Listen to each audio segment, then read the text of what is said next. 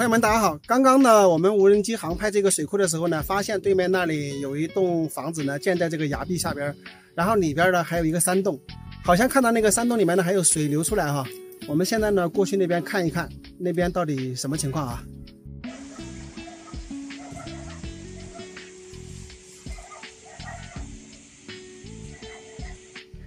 我从对面那个位置走到这里呢，已经走了半个多小时了，已经走到这个洞门口了。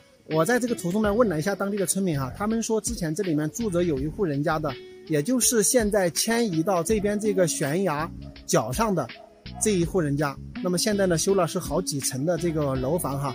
之前呢，他们就是住在这个山洞里边的哈。我们现在过去看一看，里面还有没有什么他们居住的一些痕迹哈。整个这个洞口呢，它是一个圆弧形的形状哈，看去呢就像一个弯弯的月亮是吧？非常大的一大块石板盖在这个地方的这种感觉哈。这个水源还挺大的，就是从这个山洞里面流出来的。好，大家可以看到这个有居住过的一些痕迹哈，这边有些土墙房，那么然后它这个地方堆了很多的木板。这边也有非常多的一些木板啊，还能够看得到以前居住的一些痕迹。我们进洞里面去看一下吧。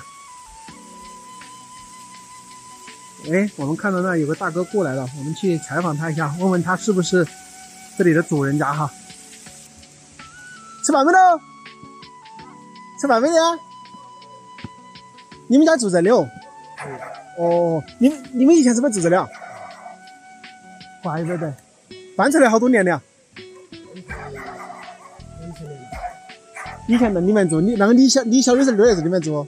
我在这住了十年。以前的在湾头的全都在那里住，我从二栋房子。你说也全部都在里面住？这边是李四华家。嗯。李四华家在那边，他家就是他五里公干，我家四弟兄。这底下我伯伯家，伯伯家三弟兄。你说住了几家人？三家人了，以前的连房、磨房都在这里面。这个大哥呢，就是对面那个房子的主人哈。他跟我说呢，他们之前呢有十几个人住在这个山洞下边。这个洞呢是可以直接通到山那边去了。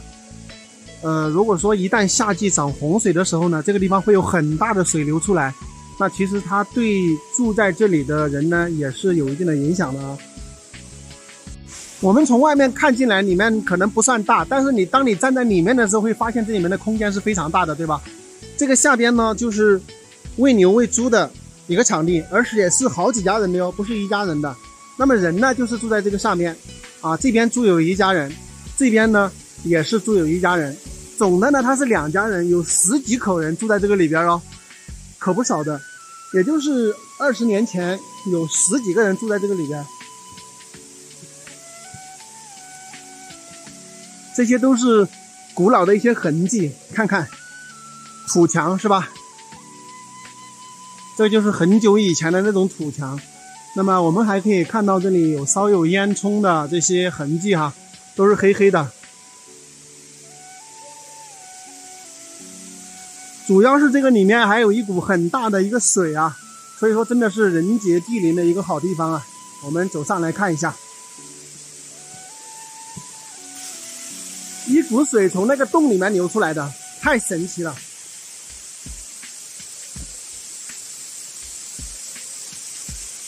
这里面这个水啊，清澈见底，大家看看。那么看到没有？水水就是从那个洞里面流出来的，整个上面的山体是挺厚的，上面的整个都是大石板。那么这个水是从哪里来的呢？真的是非常神奇啊！尤其是夏季的时候，水是特别特别大的。那我们可以看到。那个滴水的地方啊，长了一个石笋，非常的光亮。这个地方真的是一个世外桃源，悬空中一股水从那个山洞里面流出来。这样的山洞里面住着，真的是冬暖夏凉啊！尤其是它这个上边整个盖子呢，就是一整块的大石板，而且感觉就非常非常的安全，住在这里面。那我们从外面看这里面呢，其实上空间是不大的，但是我们。走在这里面了之后，发现这个里面空间真的是非常非常大。我目测了一下，最少有一亩多地的这么一个空间。所以说住个两三家人，然后十几口人呢，这个确实也是一个事实啊。大家可以看看啊，这个水呢从这里流出来之后呢，就从这边呢流下去了，整个会非常非常的漂亮。这个地方的环境，这个地方呢真的是一个非常不错的地方。我们可以看到很古老的这种土石墙，啊，都有居住的这种痕迹。然后更好的呢，就是这个地方呢它是有水源的，对吧？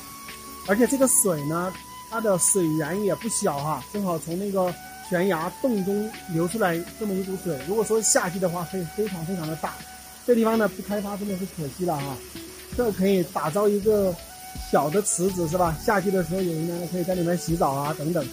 呃，我个人感觉他们真的是不应该搬出去啊，应该把这个地方挖平之后，把房子就建在这里，然后开一个农家乐，会非常非常的舒服啊。